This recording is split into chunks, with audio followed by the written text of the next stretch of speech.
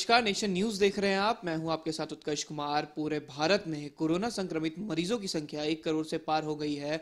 वहीं केंद्र स्वास्थ्य मंत्री डॉक्टर हर्षवर्धन ने एक इंटरव्यू में कहा है कि बिहार और पूरे भारत में कोरोना काल का जो स्तर था, वो गिर गया है और कोरोना संक्रमित मरीजों की संख्या घटने लगी है। वहीं इंटरव्यू में उन्होंने कहा है कि जनवरी के किसी भी हफ़्ते से भारत में अपने नागरिकों को वैक्सीनेशन देने की स्थिति में होगा।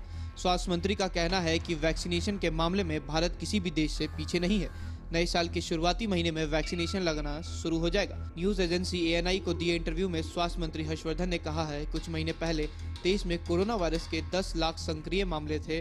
अभी देश में करीब 3 लाख सक्रिय मामले हैं।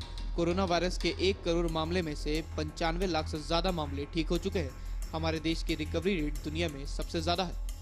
स्वास्थ्य मंत्री हर्षवर्धन का कहना है कि भारत सरकार पिछले चार महीने से राज्य सरकारों के साथ मिलकर ज़िले में और ब्लॉक स्तर पर वैक्सीनेशन की तैयारी में लगा है।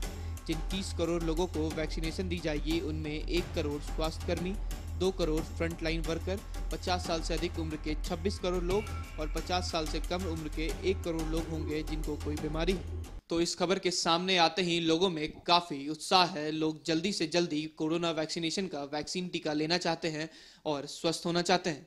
फ़िलहाल खबर में सिर्फ़ इतना ही। आप हमारे साथ बने रहें और देखते रहें नेशन न्यूज़। धन्यवाद। Música